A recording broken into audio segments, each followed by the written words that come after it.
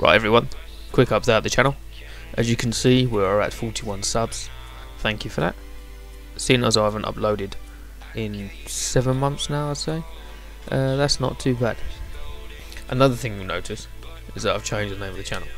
It originally was Jat's Garage, and although that was quite a good name in my opinion, um, I feel that it was a bit misleading.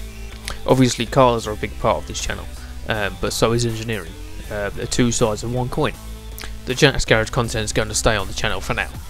Uh, I might not take it down, I might keep it up. It sort of shows like a progression of where we were to like, where we're going. Uh, and there's some good stuff on there. My opinion, probably not a lot of other people's, but no, there's 41 subs now, so must be something I'm doing right.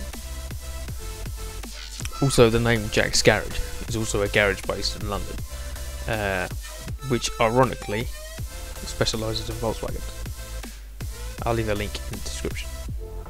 So, like I said, this is just a quick video explaining why the channel's been changed, what sort of direction we're going in for 2019. Um, obviously, there'll be car videos, engineering videos, um, this and that thrown in, uh, a few trips, maybe to Spa, Brands Hatch, that sort of thing. But uh, we'll see where it goes and uh, see if we can sort of build a community up and uh, go from there. Anyway, thanks for watching. If you liked this video, then please subscribe. If you disliked it, dislike and uh, let me know why you didn't like it in the comments.